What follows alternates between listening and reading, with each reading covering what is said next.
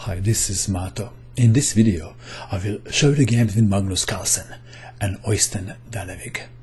This game was played in Norwegian Championship in 2004. Carlsen had white pieces and he started with e4.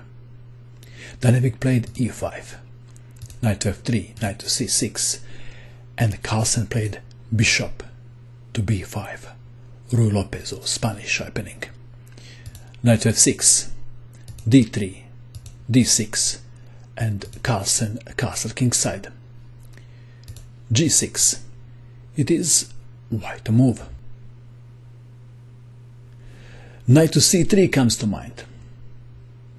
If I was asked to guess the move, that is what I would have played. Carlsen played d4, pushing the same pawn again. E takes on d4. How should white continue? Knight takes on d4 or there is a better move? What would you do? e5, the strongest move played by Carlsen. Pawn takes pawn. Knight takes on e5, pressure is on the knight on c6. Bishop to d7 and pinning. It is white to move. What is the best move for white in this position? What would you play? Carlsen played rook to e1. Simple and the best. Rooks should be placed on the open files. Would you play this too? Knight takes knight. Rook takes knight check. Bishop to e7. Black, dark square bishop, belongs to g7, doesn't it? Bishop to g5. Surely black considered castling. Instead, knight to g8 was played. What happens after castling? Then rook takes on a7. Queen takes rook. Bishop takes bishop. Queen takes bishop. Bishop takes on f6 and this position. Why was white? So we have knight g8. Queen takes on d4. And black played f6, forking two pieces. What happens if bishop takes bishop? Let's have a look. If bishop takes on b5, then rook takes bishop check. And after knight takes rook, queen takes on h8. So we have f6. White to move. How should white continue? Carlsen played knight to c3.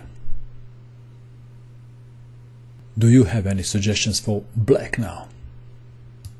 Well, black can capture the piece, either rook or bishop, or bishop takes bishop on b5. That is the strongest move in the position.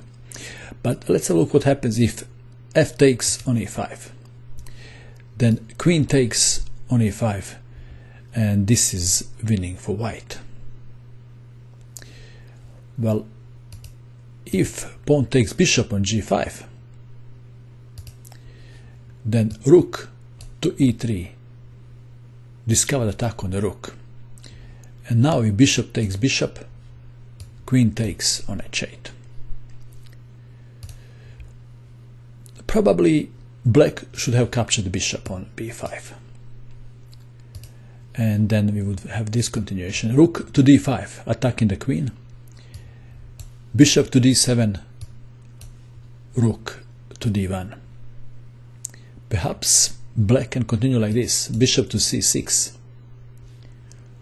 rook takes queen rook takes rook what do you think of this position looks like that black would have a chance okay in the game.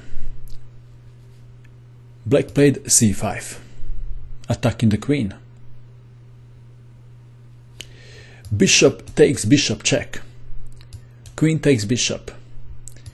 Queen takes queen check. King takes queen. rook to d1 check. Material is equal, but have a look at the difference in the activity of the pieces. King to c7. Knight to d5 check. King to c6. Knight takes bishop check. Knight takes knight. Rook to e6 check. King to b5. Bishop takes on f6, attacking the rook. Rook from h to d8. Rook takes rook. Rook takes rook. It is white to move. White played a move and black resigned. What is the move? Rook takes knight, bishop takes knight, or something else? Something else. Rook to e1. Black resigned. Of course, if rook takes on e7, then rook to d1 is winning. Okay. So Carlsen played rook to e1 and black resigned. In view of this continuation, rook to d7 and pinning then bishop takes knight, and white is a piece up. Interesting game, isn't it? What do you think of this game? And that is all. I hope that you enjoyed watching this video. I wish you good luck with your chess and bye for now.